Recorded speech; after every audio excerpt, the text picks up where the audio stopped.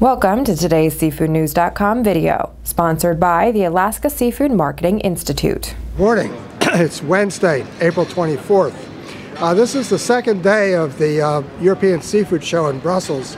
Uh, and we're getting mixed reports. Uh, some people say the traffic's a little bit slower than ever uh, than other years. Other people say it's quite normal.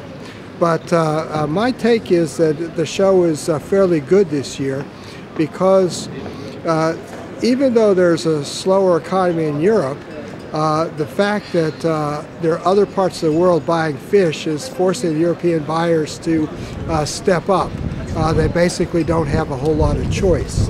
Uh, so the uh, sales activity, I think, has been pretty good at the show. Um, in terms of developments, there one thing that really is important to note is what's happening with Alaska and MSC salmon. Uh, as you know, uh, Alaska salmon is uh, being certified through this RFM FAO-based program, um, and 80% uh, of Alaska salmon this year is not going to be MSC. Well, uh, the big question is what's going to the market, what's the market reaction going to be? Well, the answer is the market reaction is business as usual. Most of the Alaskan companies have had their meetings with UK retailers and other customers in Europe uh, and basically, these customers have told them that they're sticking with uh, their current Alaskan suppliers uh, and that they're going to adjust, uh, even if maybe the adjustment was uncomfortable, they're going to adjust uh, to selling Alaska salmon uh, under this RFM sustainability standard.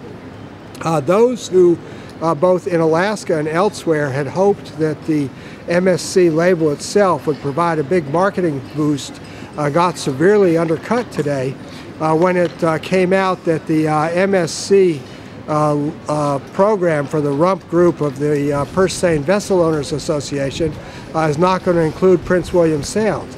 Well, Prince William Sound canned pinks, for example, is a big part of what the Purse Seine Vessel Owners catch. And this has really undercut the sort of marketing of certain companies who are relying on uh, being the outliers in Alaska and getting MSC. Uh, now it's unclear uh, exactly what they're going to do. So basically, I think this whole um, Alaska salmon MSC issue is going to fade away. The other significant thing uh, that happened here was uh, this announcement, uh, again, this is on sustainability standards, of the ASC, the Aquaculture Sustainability Council, about a, a new level of cooperation between themselves and uh, GAA's best aquaculture practices and Global Gap.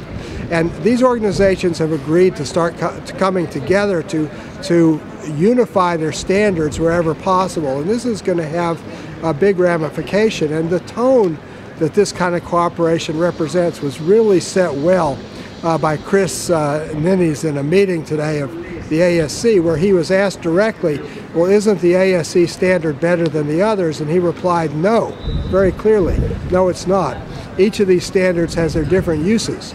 And the idea of working together uh, on, on things like feed standards and so forth really is going to maximize the leverage of these uh, standards bodies and of the buyers in raising uh, the level of um, uh, production or sustainability of aquaculture production. A very good move. Finally, uh, it's very hard to get a good handle on EMS. Uh, shrimp prices uh, remain very strong.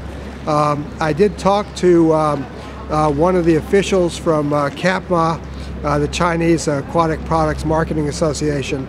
They recently completed a, a international shrimp conference um, in Guangzhou, and what was said there was that people are really selling to China.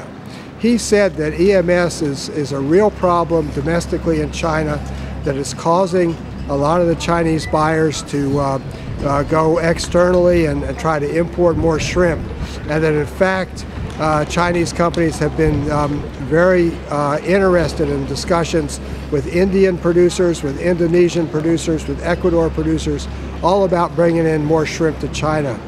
Um, I've also heard that uh, some of the major Thai uh, companies are expecting some recoveries of their production uh, in the second half of the year and are finding ways to convince shrimp farmers to get shrimp in their ponds. But we really don't know the outcome. And if, if this uh, approach from this Chinese conference uh, actually is true. Uh, there's going to be a big scramble for shrimp with um, uh, results that'll set us back a few years uh, to what prices were maybe similar to the BP oil spill. Today's SeafoodNews.com video was brought to you by the Alaska Seafood Marketing Institute. Alaska has been protecting wild and sustainable seafood for generations and adheres to the most recognized and internationally accepted set of guidelines written by the United Nations Food and Agriculture Organization. For recipes and additional information, visit wildalaskaflavor.com.